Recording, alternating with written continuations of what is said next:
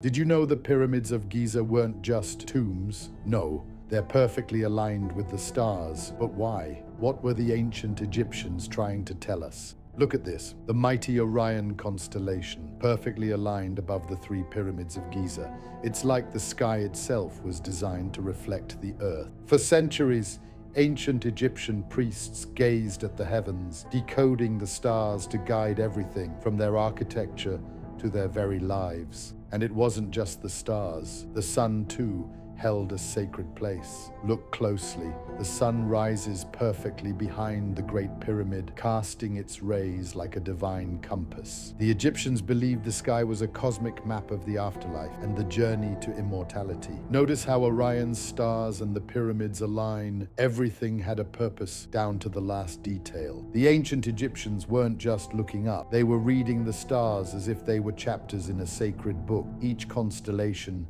a clue to the universe's deepest mysteries. But here's the question. Was this alignment all just a coincidence? Or was it a message from the cosmos? A secret map to something bigger? What do you think? Drop your theory in the comments below and don't forget to subscribe because the stars are full of secrets waiting to be uncovered.